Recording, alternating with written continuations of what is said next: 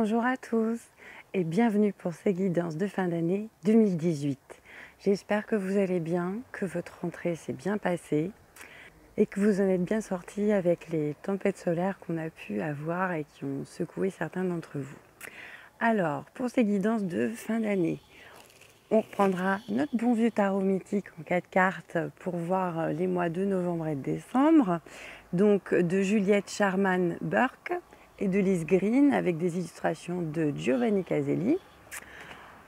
On a eu ensuite les anges qui ont voulu revenir de Dorine Virtu qui pourront nous apporter des conseils supplémentaires. On prendra également l'oracle de l'énergie qu'on n'a pas beaucoup utilisé là pour l'instant, qui est de Sandra Anne Taylor. Les cartes sont juste magnifiques. Et puis j'avais envie aussi euh, de vous tirer une carte des portes de l'intuition. Euh, alors là, c'est de Vanessa Mielzarek et Brigitte Barberan que euh, j'ai depuis peu et que je voulais déjà depuis longtemps. Voilà. On fera aussi, alors elles sont où elles sont là? On fera un petit point litho comme d'habitude. Alors là, ici, euh, j'ai pris juste un petit peu de citrine, de jaspe rouge, une rose des sables, un quartz ledonite qui est la pierre des chamans. Et on terminera avec des fleurs de bac pour vous aider émotionnellement pour les mois de novembre et de décembre, en espérant également que vous passerez de très bonnes fêtes de fin d'année. Hein. on n'en est pas encore là. En tout cas, je vous en souhaite d'excellentes, que ce soit en famille ou avec des amis. Et puis, ben, comme d'habitude, hein, n'oubliez pas que ces guidances sont générales. Donc, elles peuvent plus ou moins vous parler. Hein. Selon les cas, chacun est différent. En plus, euh, généralement, le signe ascendant peut prendre le dessus une fois qu'on a passé la trentaine. Donc, vous pouvez aller voir les guidances de vos signes ascendants et également lunaires pour avoir des compléments d'information. Vous vous retrouvez peut-être aussi un peu plus dans certaines que d'autres, vous verrez bien. Et puis si vous avez des questions, comme d'habitude, vous pouvez m'écrire euh, via Messenger euh, à la dame libérienne tout attaché gmail.com et maintenant vous pouvez également aller sur mon site internet. Et puis n'oubliez pas que j'ai encore lancé un concours pour ce mois-ci pour que cette fois-ci vous puissiez gagner soit un soin, soit une guidance au choix pour le ou la gagnante. Voilà, bonne chance à tous et je vous laisse maintenant pour vos guidances. À de suite. Allez les Capricornes, c'est parti pour votre guidance pour cette fin d'année. Alors comme je vous l'ai dit juste avant, on a repris à nouveau le tarot mythique en quatre cartes avec ici première quinzaine de novembre, deuxième quinzaine, première quinzaine de décembre et dernière quinzaine de décembre. On aura également une carte issue de l'oracle des anges, une autre de l'énergie et enfin une autre des portes de l'intuition. Alors je tenais à vous dire que quasiment toutes vos cartes sont tombées toutes seules. Hein. voilà, donc euh, vos guides sont bien présents, il y a des messages à vous faire passer manifestement. Donc on va commencer tout de suite par votre première carte pour cette première quinzaine et nous avons chouette le 6 de bâton. Regardez Jason là comme il tient droit et fier avec la toison d'or enfin. Et avec du monde aussi hein, derrière, hein. vous n'êtes pas tout seul sur cette carte. Alors, ça peut vous représenter vous, bien sûr, ou ça peut représenter quelqu'un d'extérieur à vous, mais qui est dans le masculin sacré. Hein. Bon, là, les bâtons, généralement, c'est plutôt des signes de feu. Bélier, lion, sagittaire. Donc ça peut aussi représenter quelqu'un d'extérieur comme tout simplement les énergies du moment. On est plutôt ici sur le plan matériel et professionnel. Et comme je vous le disais, bah, Jason est victorieux. Hein. Donc là, vous allez pouvoir dans cette première quinzaine peut-être avoir un certain triomphe, la reconnaissance d'autrui, que ce soit un succès public de vos pères, une promotion aussi. Ça peut être une récompense que vous allez recevoir au niveau matériel ou financier. En tout cas, une victoire pour laquelle vous avez dû lutter et faire quand même de nombreux efforts. Que ce soit par rapport à un grand ou un petit but, en tout cas ici, vous semblez l'avoir atteint. Donc félicitations et célébrez ce moment avec les personnes ici qui sont avec vous et qui vous soutiennent hein, et qui sont heureux pour vous. Donc partagez votre joie avec eux. Et sachez que comme là on est au 6, hein, donc euh, la série allant jusqu'au 10, on parle ici d'un moment de transition. ça peut être, on va dire, une étape de franchie dans tout votre projet. Alors il peut y avoir beaucoup de créativité et d'idées à ce moment-là. On peut également susciter de l'envie et l'esprit de compétition euh, de par certains. Mais ce qu'il faut surtout retenir ici, c'est que vous avez l'approbation et le soutien de votre entourage. Laissez les autres à ce qu'ils ont envie de voir ou de ressentir, c'est leur problème, pas le vôtre. Donc ici, si vous aviez des difficultés avant à surmonter, on vous dit que ça y est, c'est en train d'aller dans le bon sens. Donc n'oubliez pas aussi d'être dans la gratitude, hein, ce qui va amplifier vos énergies qui vont être déjà pas mal là euh, pendant cette première quinzaine. Vous pourrez vraiment être fier de vous. Gardez ça bien en mémoire aussi pour les moments où vous pouvez parfois euh, douter de vous, hésiter ou manquer un peu de confiance. Et rappelez-vous que ça, vous avez réussi à le faire. Et puis que vous n'êtes pas seul. Hein. Il y a du monde apparemment derrière vous, des gens qui vous encouragent ou peuvent vous encourager, hein, donc acceptez-le aussi. Appuyez-vous sur eux si vous en avez besoin et gardez confiance parce que ça va le faire. On va voir maintenant ce que vous avez eu pour votre deuxième quinzaine de novembre. Alors là, vous avez eu deux cartes qui sont venues ensemble. Alors d'abord, vous avez eu le 7 de denier. Et ensuite, on a le 4 d'épée qui est venu compléter. Alors je vais les mettre comme ça. Voyez bien quand même. Alors le 7 d'épée, c'est les Sagittaires qui l'ont eu exactement à la même place pour euh, cette fin d'année. Alors du 6 où on est à la recherche de l'équilibre, on passe au 7, hein, donc euh, on avance encore d'un cran. Là, les deniers, on est plutôt sur le plan financier et matériel, et on voit Dédale qui est chez lui, qui s'est euh, durement battu pour en arriver là, pour avoir un certain confort de vie, en tout cas qui a fait des efforts, hein, c'est pas venu comme ça tout seul. Et là, on voit qu'il y a une femme qui vient vers lui avec une pièce, qui vient en fait lui faire une proposition qui va paraître alléchante, mais qui risque de le faire sortir de sa zone de confort, c'est-à-dire qui n'est pas forcément sans risque. Donc, c'est assez logique pour moi que vous ayez le 4 d'épée du coup qui soit venu avec cette carte, parce qu'elle vient là en conseil, où là on a plutôt Orestre qui lui est en exil, qui est en position, vous voyez, de méditation. Donc Ici, on vient vous conseiller de prendre le temps de bien réfléchir à cette proposition, hein, d'en voir divers aspects de bien prendre tous vos renseignements, de voir aussi ce que ça fait vibrer par rapport à vous, ce que vous en pensez réellement au fond, mais faites-le d'abord tout seul dans un premier temps. Vous avez certes des gens qui vous soutiennent, etc., mais la décision, elle doit venir de votre cœur, et ça, il n'y a que vous qui pouvez, entre guillemets, le savoir, le connaître, le percevoir. Les autres peuvent vous servir également de bons conseils, mais là, on vous demande quand même d'être tout seul dans un premier temps par rapport à cette proposition qu'on va vous faire.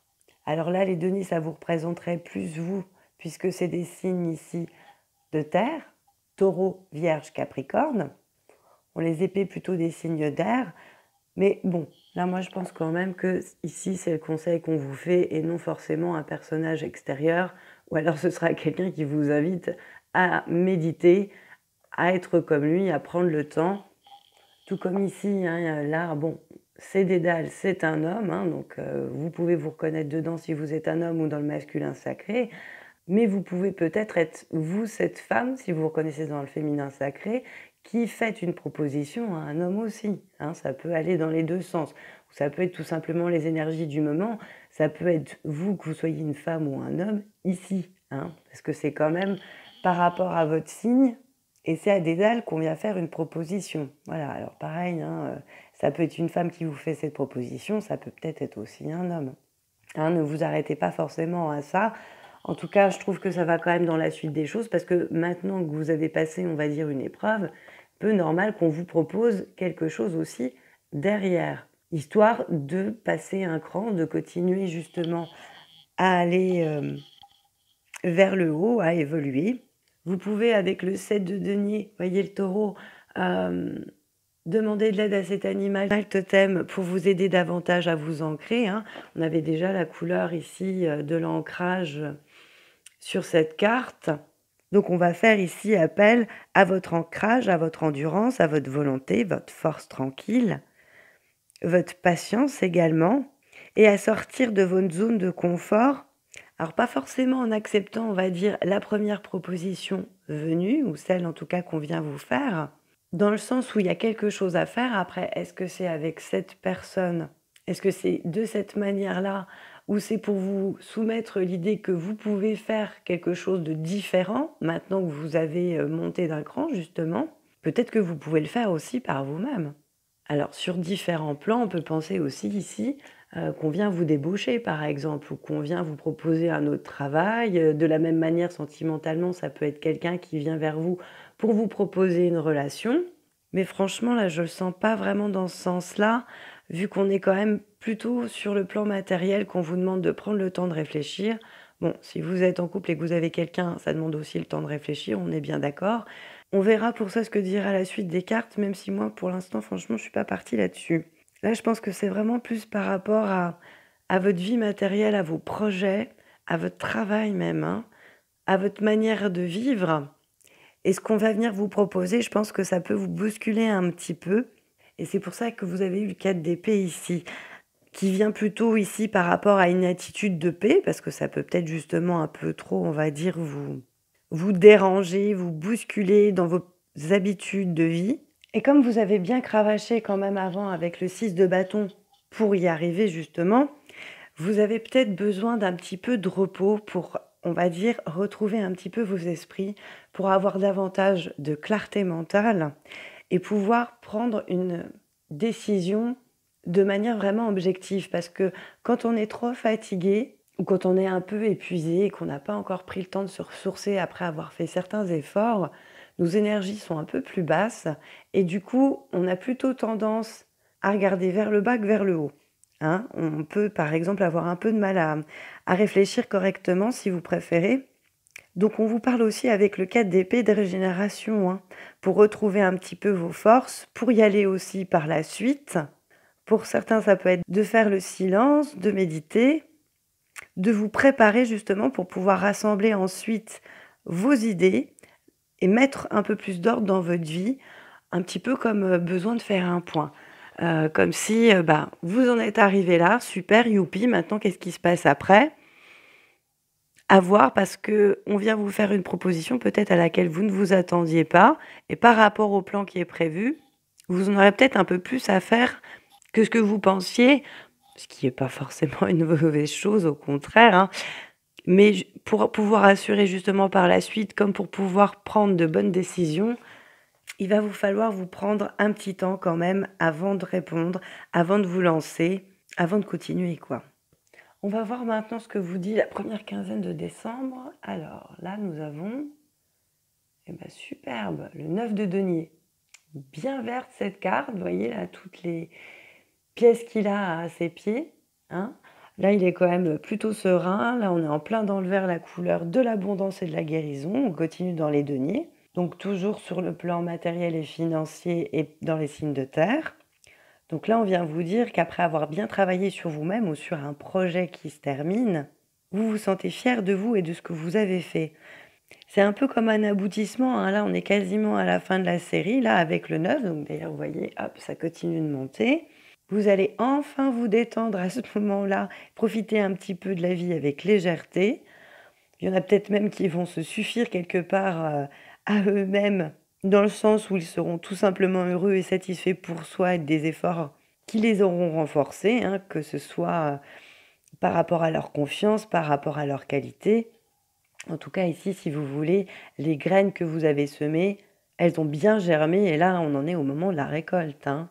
Donc, quoi que vous ayez lancé ou quelle que soit la décision que vous allez prendre par rapport à ce qu'on va vous proposer, franchement, derrière, euh, on est prospère. On parle ici aussi de bonne santé, d'harmonie, de popularité aussi pour certains. Et c'est un moment également où on se dégage un petit peu de ce que peuvent penser les autres. Donc ça continue avec la carte conseil qu'on avait donc du 4TP.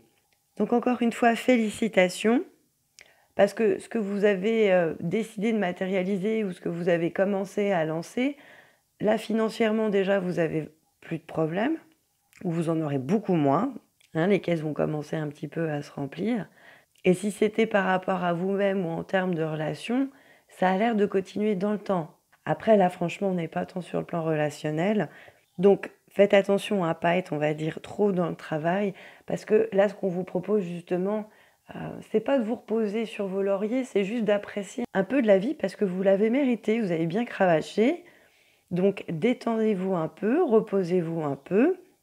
On va voir maintenant ce que vous réserve votre dernière quinzaine de décembre. Et là, vous avez, ah bah magnifique, la tempérance, une arcane majeure qui représente également le signe des Verseaux, mais qui est surtout la carte de la protection, de la patience, de l'harmonie et de la bonne santé. Hein. Vous voyez, il y a derrière elle un arc-en-ciel. Alors on peut penser justement à une boucle de protection, mais il y a les sept couleurs des chakras qui sont là, donc l'harmonie aussi au niveau de la santé.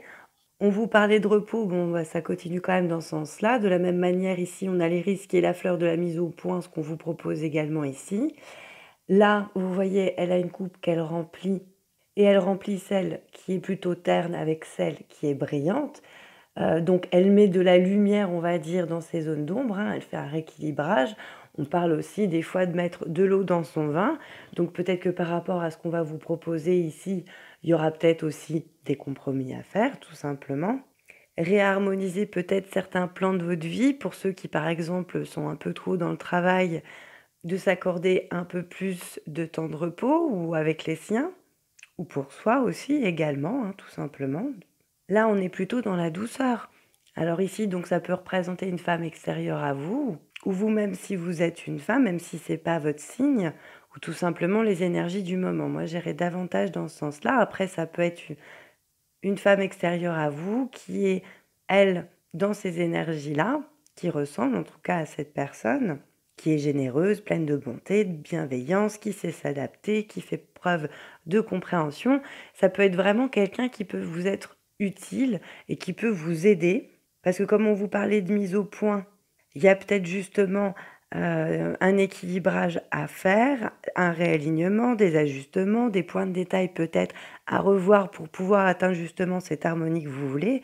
Et ça sur quelques plans que ce soit. Hein. Ça peut être très bien au niveau relationnel, avec euh, la famille, les amis, que votre conjoint, votre conjointe, ou pour avoir la situation que vous espérez si vous êtes célibataire. En tout cas, là, ça a l'air vraiment d'aller dans le bon sens. Encore un peu de patience, j'ai envie de dire.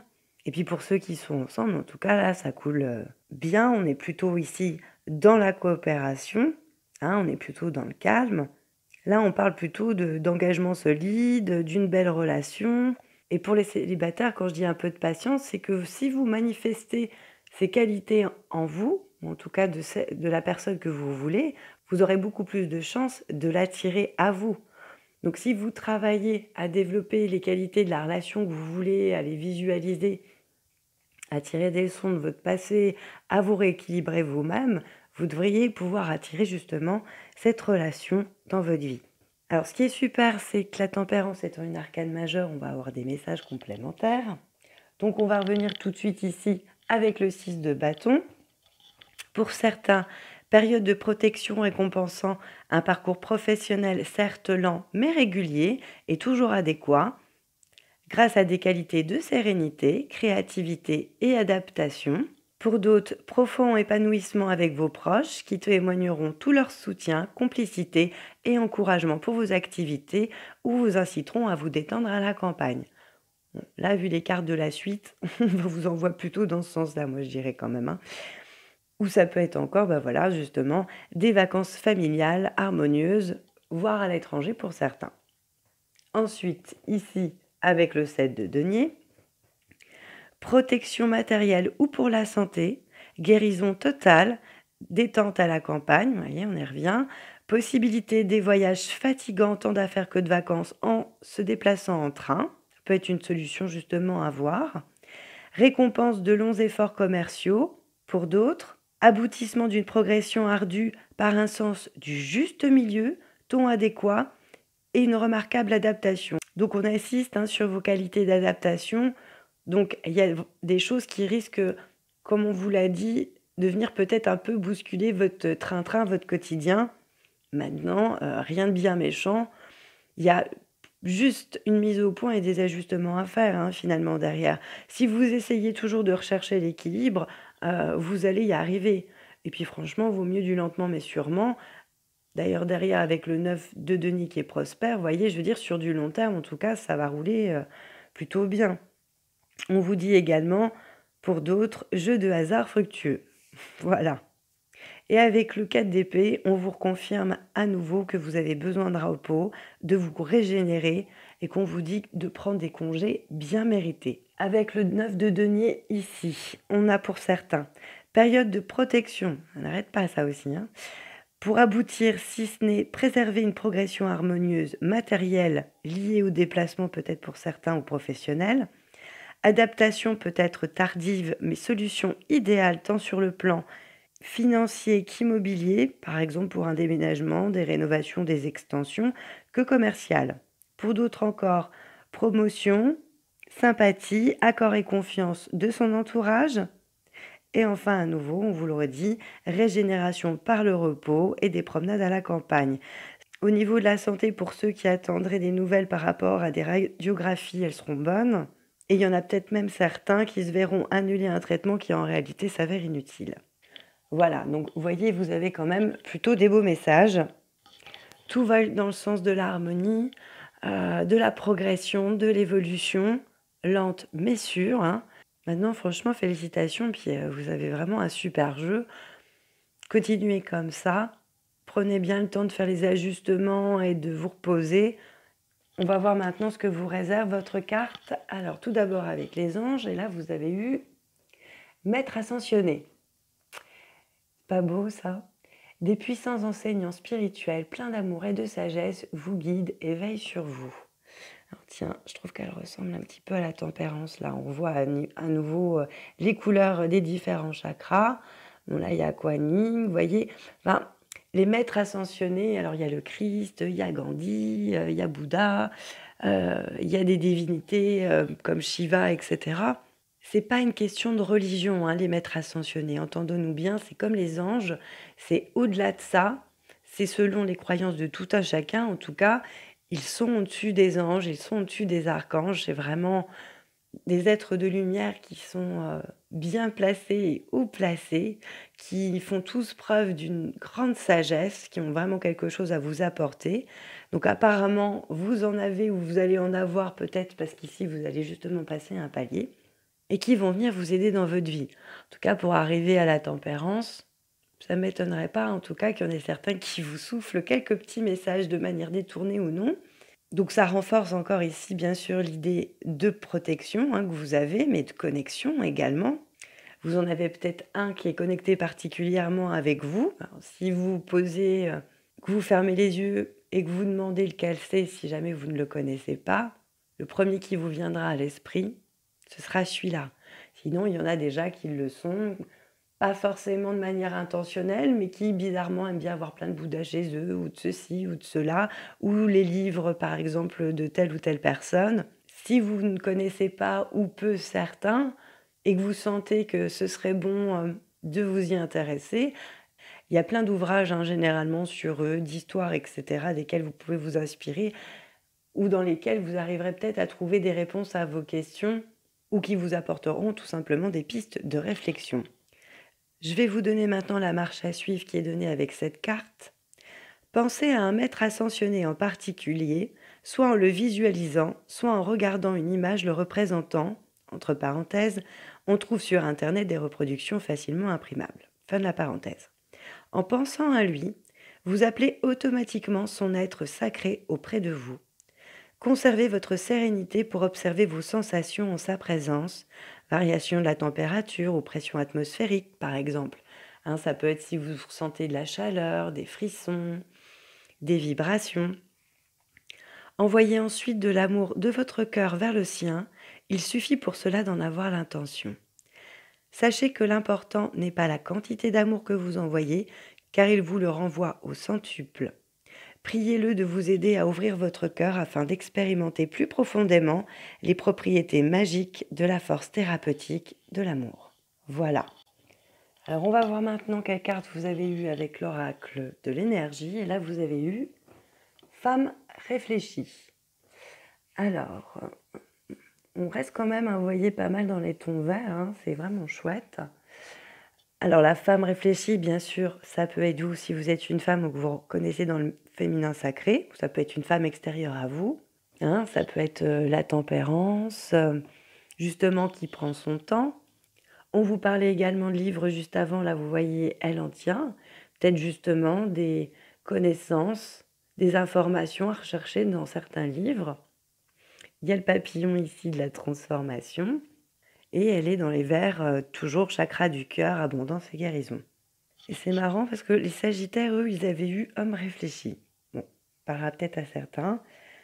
En tout cas, ici, c'est une femme qui fait preuve de compréhension et de sagesse. Donc, vous voyez là, entre le 4 d'épée et la topérance. Hein. Donc, comme je vous le disais, ça peut être une amie, hein. ça peut être quelqu'un qui peut vous aider à exprimer vos émotions et aussi à les comprendre. Ça peut être une enseignante, une femme qui est déjà dans votre vie ou qui va y rentrer pour vous emmener dans une nouvelle direction. Donc quelqu'un qui a des choses à vous apprendre. Après, c'est pas forcément une enseignante enseignante, on va dire. Hein. C'est pas de son métier forcément dans la vie.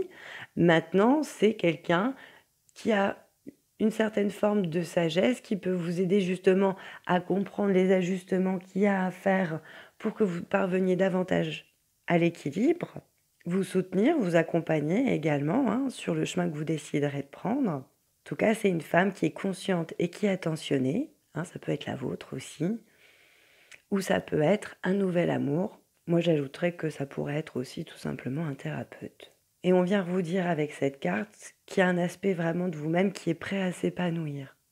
Donc, verrez bien si vous avez déjà cette femme autour de vous ou si elle va rentrer dans votre vie. En tout cas, si ce n'est pas le cas, ouvrez l'œil et surtout bien les oreilles parce que manifestement, vous avez des choses à entendre pour pouvoir aller dans le sens que vous souhaitez. Alors maintenant, je vais vous donner l'affirmation qui est avec cette carte.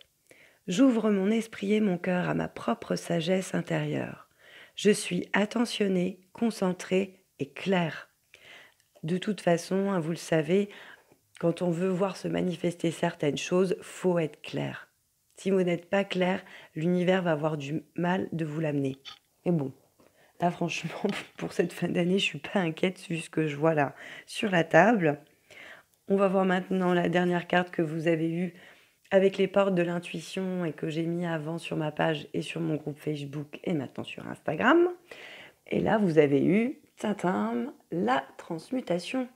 C'est le moment de compter sur votre guérisseur intérieur. On revient beaucoup quand même à l'intérieur de soi, hein. on revient beaucoup à l'introspection. Alors ici, ça fait un peu désertique, hein, donc on revient quand même sur le fait d'être seul avec soi-même, euh, non pas tant pour s'isoler des autres que pour mieux se retrouver et pour mieux s'écouter aussi. En tout cas, je trouve qu'elle vient bien conclure ce jeu, hein, parce que c'est ce que vous faites, là, la transmutation. Parce qu'on vous encourage à faire des ajustements et à reconsidérer peut-être certaines choses pour aller vers ce que vous souhaitez réellement. Et ça va plutôt dans le sens là. Donc, euh, c'est beau, c'est euh, vraiment chouette. Hein.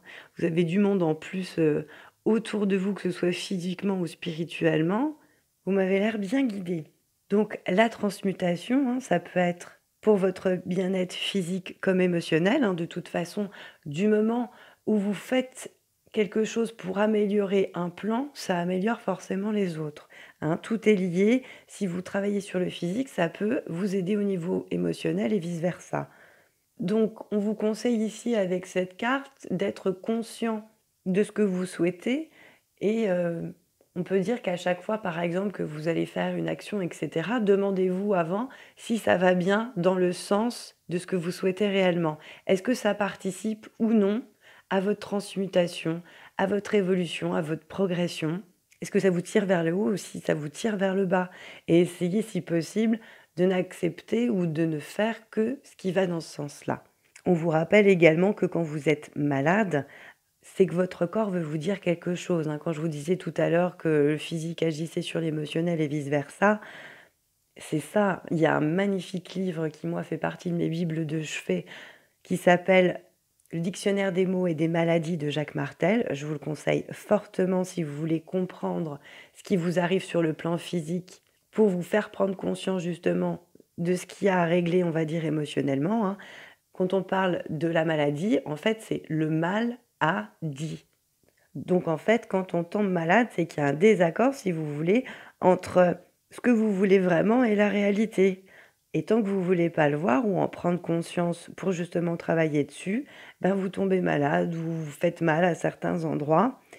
Et comprenez bien aussi que si vous pouvez vous rendre malade, vous avez tout autant le pouvoir de vous soigner. En tout cas, là, il y a une belle guérison en cours et franchement, je suis vraiment heureuse pour vous.